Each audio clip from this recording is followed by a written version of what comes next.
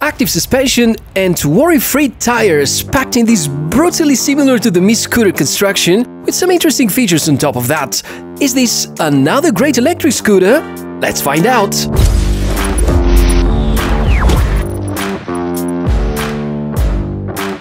Hey, welcome everyone, my name is Michael, and well, this behind me is called the i9 Pro by iScooter. It is indeed very similar to the original Mijia M365, later known as Mi Scooter, however, it's not a copycat, it's a device with its own style, parameters, mechanisms and so on.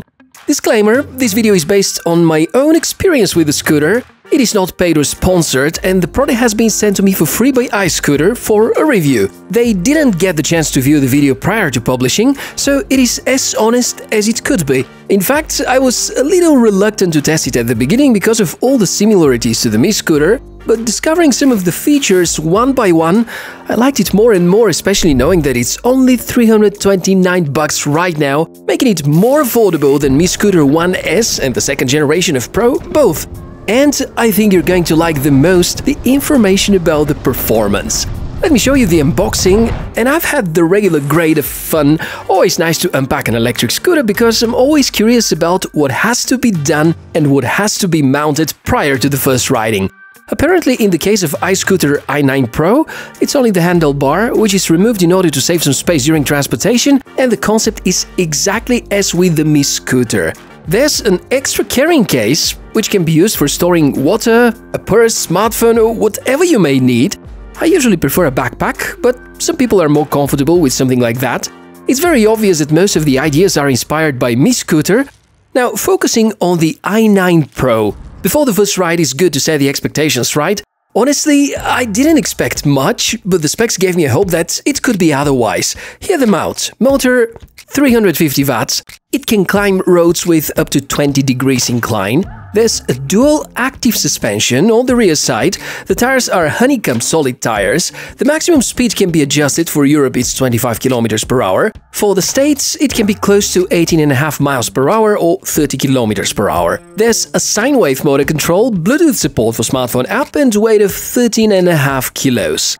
The board seems to be wide enough and comfortable enough, rubberized, and it never felt slippery. Distribution of weight is excellent, easy for carrying no matter folded or not. And yeah, that folding mechanism is very reliable and easy to use. Being one of the very first Mi Scooter riders myself, and knowing about all the Mi Scooter mechanism issues at the start, this one not only seems to be of great quality, it performed perfectly well in urban conditions in a city with a pretty bad bike and scooter infrastructure. Now, there are a few questions people would usually ask about scooters. Range? How many kilometers can the scooter handle until the battery dies? The manual says that it can last up to 25 kilometers. If you ride at the eco speed, which is up to 20 kilometers per hour, you don't brake, you don't accelerate aggressively, and you weigh around 70 kilos, and there is no wind on top of that. In my case, a lot of acceleration, every speed of around 17 kilometers per hour, mixed usage of both modes, I started with battery level of around 83% and finished at 15% and have covered around 15 kilometers. My weight is 88 kilos, and with the clothes and the backpack with the camera gear, two bottles of water and so on, it could be easily a total of 94, so that achievement is great. I get about the same results with the Mi Scooter, with the difference that the Eco mode here is not slow at all and the acceleration is not compromised. 350 watts of power on this motor feel a lot more powerful than the Ninebot Max. Acceleration is very interesting, starts slowly, then, after the third or the fourth second, the motor goes into full power and the acceleration is really nice. Also, it does a great job up hills even with close to empty battery, which Mi scooters are famous for not being able to do well. So, the range and the motor flexibility seem to be both excellent. For prolonged usage and mileage, I still can't say, but expectations are between 2 and 3000 kilometers at least. Operation is very quiet, there's cruise control, you can see the speed in real time, I've got absolutely no remarks about the riding modes. Oh, actually I do. There is no odometer visible on the display. I wish they're also visible in real time. The other question that most people would ask, maximum speed, mentioned, it's 25 km per hour for the European region, so that it's compliant with most countries' regulations.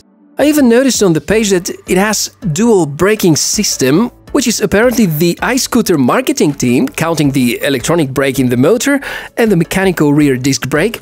It's a very reliable braking system, however, I don't think it's compliant with the German ABE requirements because I didn't find the needed documentation. Furthermore, this doesn't qualify as two independent brakes. But it looks to be okay for most European countries, for the US market and so on. Make sure to carefully check if it is okay to ride at your place, because you may be risking to get a fine or even worse, to lose your driving license or some points from it. Now, some more words about the performance, because that rear suspension is quite unique and interesting, and I wanted to find out if it's any good at all, and whether it will bring extra noise while you're riding. Surprisingly, it does really well compensating vibrations. Since we count on solid tires, they're not as shock absorbing as pneumatic tires, so this suspension comes as a nice feature to help you to reduce the vibrations.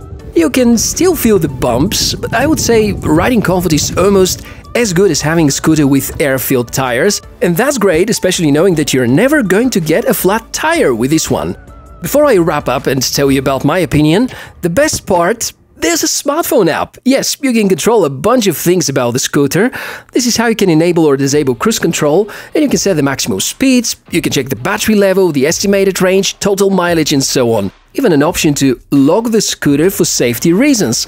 This is the part I was most happy about because it's super easy to connect and it's usable for both iPhones and Android phones.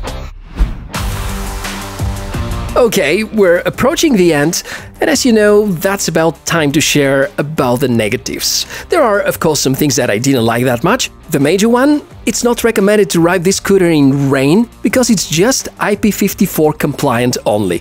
Light rain seems to be fine if it's a heavy rain, Better don't risk it. Cover the display first, because you don't want to damage the electronics underneath. Also, the already mentioned lack of odometer on the display. While the speed and the battery info is visible on a shiny day, I wish I could see the distance covered because sometimes it helps me to better plan my rides.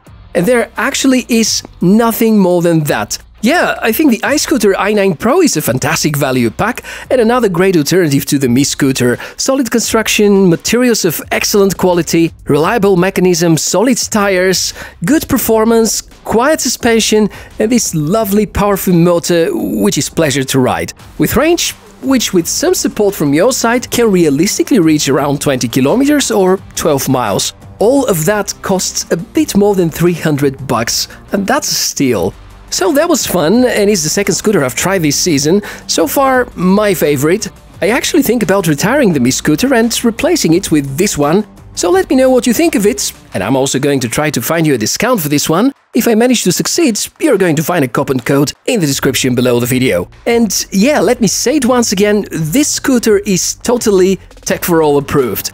And I so much hope that this video was helpful.